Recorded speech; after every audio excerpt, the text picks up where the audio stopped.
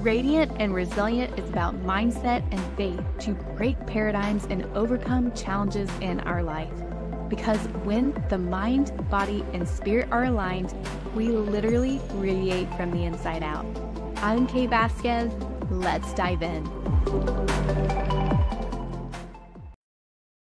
Recently, I went to a faith based retreat for female entrepreneurs, and let's just say it was called Revive for a reason. I literally felt so revived coming out of the retreat. It was exactly what my soul needed.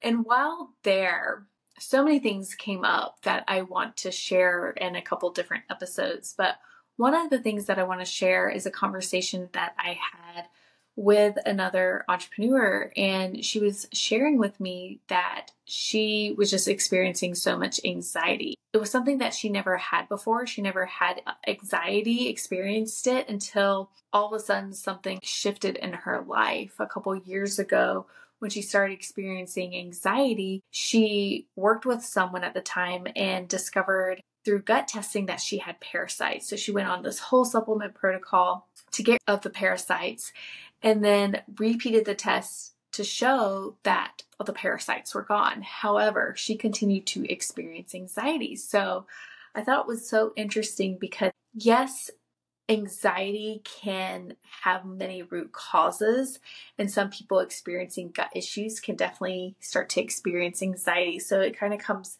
down to the question like, you know, what started first, the chicken and the egg, right? Did the anxiety start first and cause the gut issues, or was it the gut issues that caused the anxiety? And this is something that I see in a lot of my clients. It's like, what really came first? But sometimes we don't know what came first because there's so many different factors, right? And I thought it was interesting because I had this this question in my mind, like, I, am curious what do people think? What comes first right? And i even created a post it's on my instagram account. It's like what came first? The stress the imbalances the anxiety. And it was interesting to see what people thought. Some people thought it was the anxiety that came first which then created the stress which created the imbalances or it was the imbalances that came first that created the stress and the anxiety. And so what i truly believe and want to speak to is, is this anxiety piece because i feel like anxiety is something that we experience when there's imbalances of the mind, body, and spirit. And a lot of us get really focused on the balances in the body, like, oh, something's wrong internally. You know, like a lot of the times people think it's just a chemical imbalance in the brain. That's what Western medicine has led us to believe. So, because of this chemical imbalance, let's put you on a medication, which is, I personally believe, is not the case at all yes, we have chemicals released in our brain, but it's so much more than that. And the medications we're put on, like our body doesn't necessarily process them well because we have different genetics and enzymes that play a role. So what works for one person may not work for another, but that's a whole nother thing. So when it comes to anxiety, there's so many different root causes when it comes to the physical body. Yes, gut impacts anxiety because 80 to 90% of serotonin is produced in the gut. So if we have gut issues, we're not producing this neurotransmitter effectively, which serotonin is the calming neuro- neurotransmitter.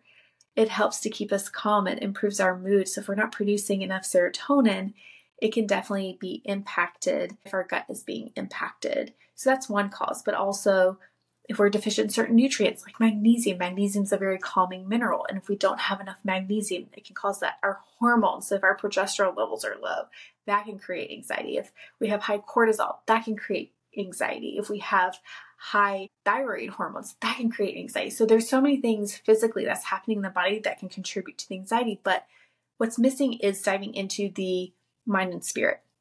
Because mentally, emotionally, anxiety is something we experience from the thoughts that we have, also an emotion that we feel in the body when our body is in survival mode, and also spirit. Are we in alignment with who we are, who God created us to be? Because if we're not, we're going to experience that anxiety. It's our clue to tune in. So when I'm having this conversation with her, really starting to unpack like the anxiety piece, she had so many breakthroughs because as an entrepreneur, she recognized that yes, she has so much success in her business. Her business is doing well and is doing well financially, which is incredible. But as we unpacked this anxiety piece, the mental and emotional side of things, she realized that the anxiety was coming from the need to do more because she felt like she wasn't doing enough. Even though she was already putting so much time and energy and effort into her business, it still didn't feel like it was enough. And it comes from this belief I am not enough. And so we can start to unpack the thoughts and the pattern, the behaviors associated with that thought. Because I told her, I'm like, there's a pattern here. So even though, like, physically you healed the parasites, like, there's still so much more going on. We need to identify the pattern because you're probably living in survival mode, which is why you're still experiencing the anxiety. And it starts with the thoughts and the beliefs we have, which is resulting in the specific actions that we're taking, keeping us in that survival mode, causing us to continue experiencing anxiety. And so, as we start to really unpack things, it came to light this this belief this, that she had and things that she was hold, still holding on to that she hadn't processed and released physically in her body she started to become aware of like, oh, this is probably the next piece and recognize she needed to make some changes. She needed to make some changes in her business, but also in her life to start to calm her body down because she's living in survival mode and it wasn't serving her. It was creating this anxiety. And so as we just like kept unpacking, kept unpacking the beliefs and the patterns and the behaviors and you know, little areas in her life to make tweaks.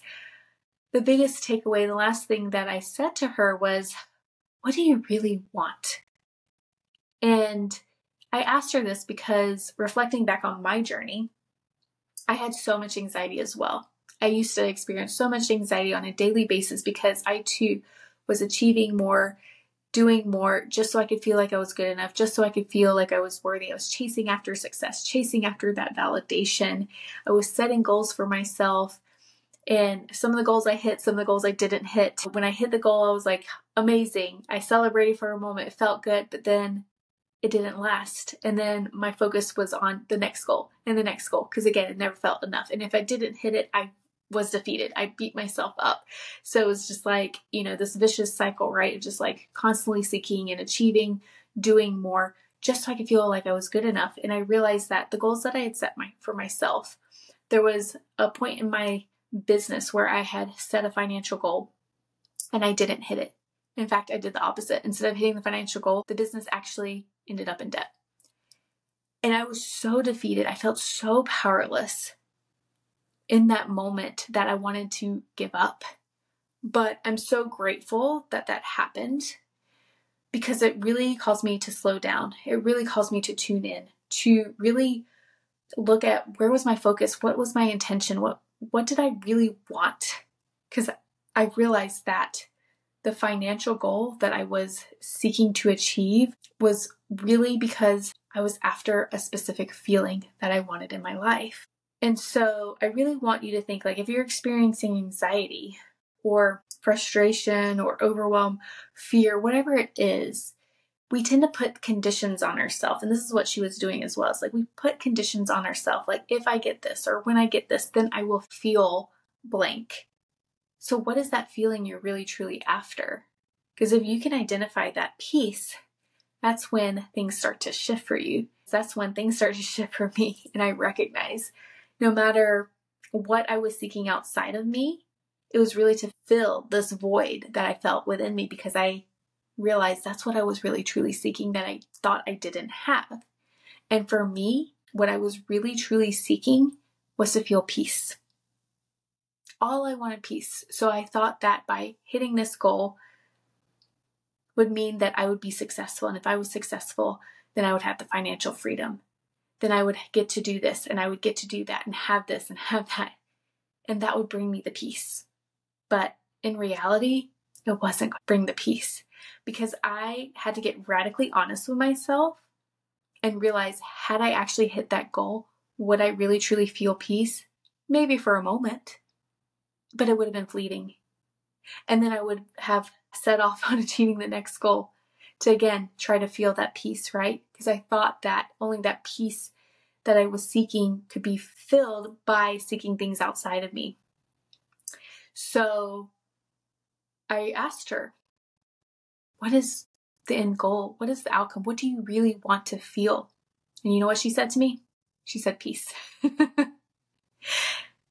it's so true. Like, we all want to feel peace. We all want to feel love and joy and gratitude. And as I was coming out of the weekend and just sharing with my husband all the beautiful takeaways, you know, we all are at our essence true love, right? We're pure love. And according to David Hawkins, there's the map of consciousness and all the different emotions that we we experience have different frequency. The lowest is shame at 20 hertz, fear and anxiety is at 100 to put it in perspective, and love is at 500 hertz. But you know what's greater than love? Peace. It's at 600 hertz. so get radically honest with yourself if you're experiencing anxiety, overwhelm, fear, doubt, worry, shame, guilt, whatever it is, what do you really want to experience? Because deep down inside, I'm sure it's peace. We all want to feel that peace. And where are you looking for peace outside of yourself? Because when you realize, like, okay, what it is is peace that I'm truly seeking, the next step is realizing that it's not going to come from outside of you, but it's already within you. The peace is already within you. And once I had that breakthrough, that realization, I was like, oh, it's already went within me. And you know why it's in you? Because it comes from God. So as a believer, when we believe in God and accept Jesus as our Savior, we receive the Holy Spirit. We now have the Spirit of God within us. And through the Holy Spirit, we receive the fruits which is love, peace, patience, kindness, etc. So recognize that. And it's even the Bible. God says, like, peace comes from me. True peace comes from me.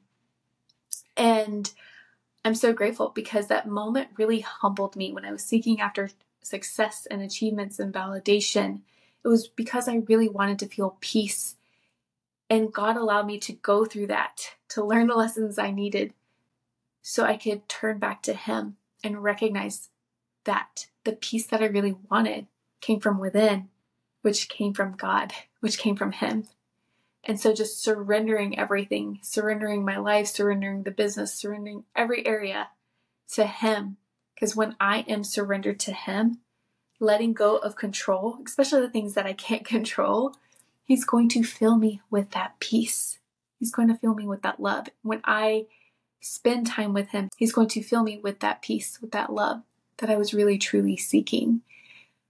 So I share this with you because that was my biggest takeaway, reminding me of that and realizing that that's really what we're all truly after. And when we're not connected to that peace that's within us that comes from God, it's going to create the physical imbalances in our body. It's going to create the mental, the emotional anxiety. It's creating imbalances in the mind, body, and spirit because we're not in alignment with that peace. We're not in alignment with God. And once we reconnect back to that peace, reconnect back to being in alignment with God and surrendering to His will, not our will, that's when we feel that peace. So I wanted to share that because I realized that's my goal, that's my purpose here in this life. Because to feel that peace, that pure peace that comes from within, is like it's it's undescribable. The sense of peace that you feel internally is like unlike any other feeling that you're going to get outside of you. Our cells literally vibrate with this beautiful energy that is felt by others around us. And because our cells are vibrating from this place of peace, everything's functioning as it should. Everything starts to heal. We feel our best physically, mentally, emotionally, spiritually. And that's how we become radiant and resilient, is returning and reconnecting back to that peace. So if this resonates with you, if you're currently not feeling peace, I'm here to support you and guide you on that journey. Because, yes, I've had experiences, different certifications, being a PA, Western medicine, functional medicine practitioner, et cetera, et cetera. But what I do is so much more because I understand that when it comes to healing, it's not just physical, it's mental, it's emotional, it's spiritual. It's identifying the imbalances, but recognizing the deeper root, which is being disconnected from peace. So if this resonates with you and you're ready to dive deeper, you're ready to reconnect with that peace, book a call with me. I'd love to chat with you and explore what this journey could look like for you and how to get you back to that peace. Because we are meant to live in peace. God doesn't want us to live from the state of fear and anxiety, overwhelm, whatever it is that we're feeling. He doesn't want us to live in that state. We're not meant to live in that state because that blocks us from everything that God wants to give us and provide for us. It blocks us from really stepping into our purpose and what we're here to do. And when we're connected to that peace, like life is amazing, life is incredible. So if you're ready to dive in deep, book a call so you too can become your most radiant and resilient version of yourself.